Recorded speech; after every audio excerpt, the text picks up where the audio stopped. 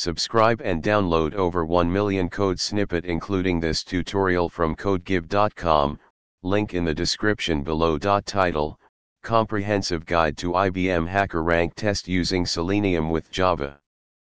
Introduction IBM HackerRank tests are commonly used for assessing candidates' programming and problem-solving skills. In this tutorial, we will walk through the process of automating an IBM HackerRank test using Selenium WebDriver with Java. Automated testing is essential to streamline the assessment process and ensure accurate results.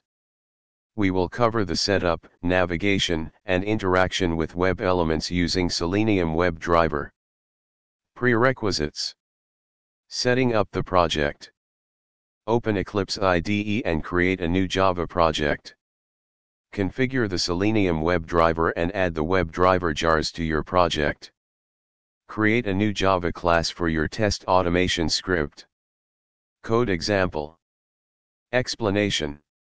Note, ensure that you replace path slash to slash chrome driver, your underscore username, your underscore password, and the challenge URL with your specific details. Conclusion this tutorial provides a basic example of automating an IBM HackerRank test using Selenium WebDriver with Java.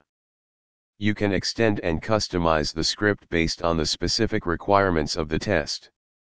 Automated testing helps in improving efficiency and accuracy, making the assessment process more reliable. ChatGPT